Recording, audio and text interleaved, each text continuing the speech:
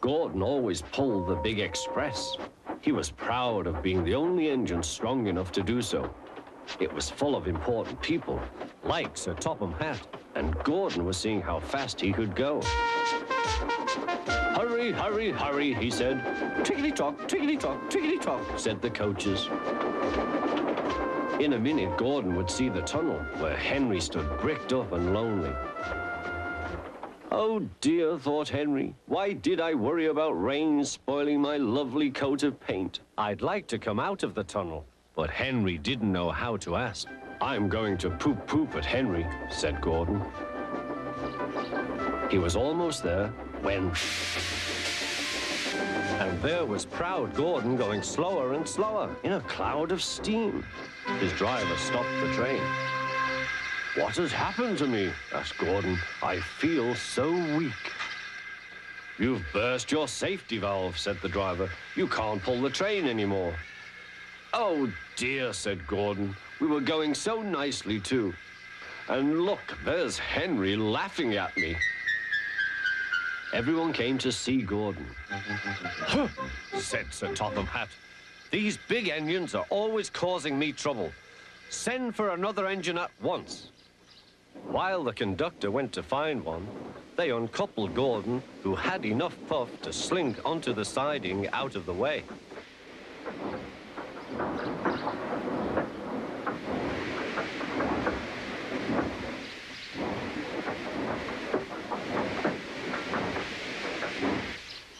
Edward was the only engine left. I'll come and try, he said.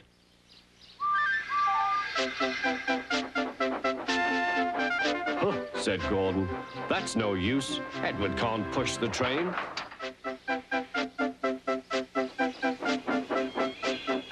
Kind Edward puffed and pushed and pushed and puffed, but he couldn't move the heavy coaches.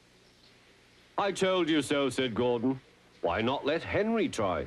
Yes, said Sir Topham Hatt. I will. Will you help pull this train, Henry? he asked.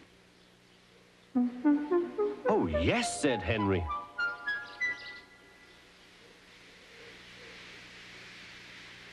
When Henry had got up steam, he puffed out. He was dirty and covered with cobwebs. Oh, I am stiff, I am stiff, he groaned.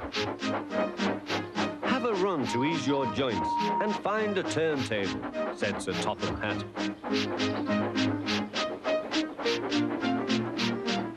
When Henry came back, he felt much better. Then they coupled him up. Peep, peep, said Edward, I'm ready. Peep, peep, peep, said Henry, so am I. Pull hard, we'll do it. Pull hard, we'll do it. They puff together.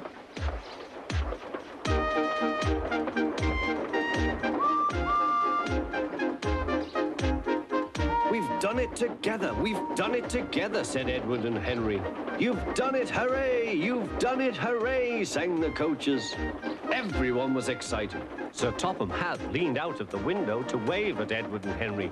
But the train was going so fast that his hat blew off into a field, where a goat ate it for tea.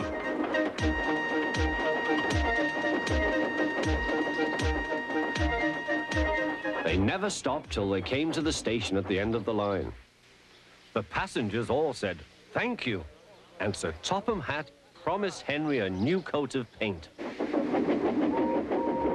On their way home, Edward and Henry helped Gordon back to the shed. All three engines are now great friends. Henry doesn't mind the rain now. He knows that the best way to keep his paint nice is not to run into tunnels, but to ask his driver to rub him down when the day's work is over.